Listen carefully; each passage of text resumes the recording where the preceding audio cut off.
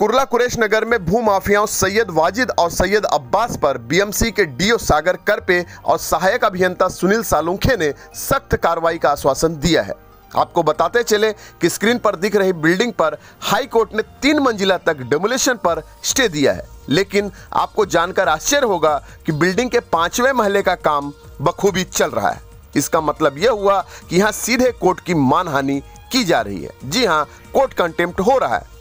इन भूमाफियाओं को न तो कोर्ट का भय है और न ही बीएमसी पुलिस का। इसी मुद्दे पर न्यूज़ फ़र्स्ट की टीम ने बीएमसी के वरिष्ठ अधिकारियों तथा चुना भट्टी के वरिष्ठ पुलिस निरीक्षक माधव मोरे से मुलाकात की, जिस पर उन्होंने सख्त कार्रवाई का आश्वासन दिया है।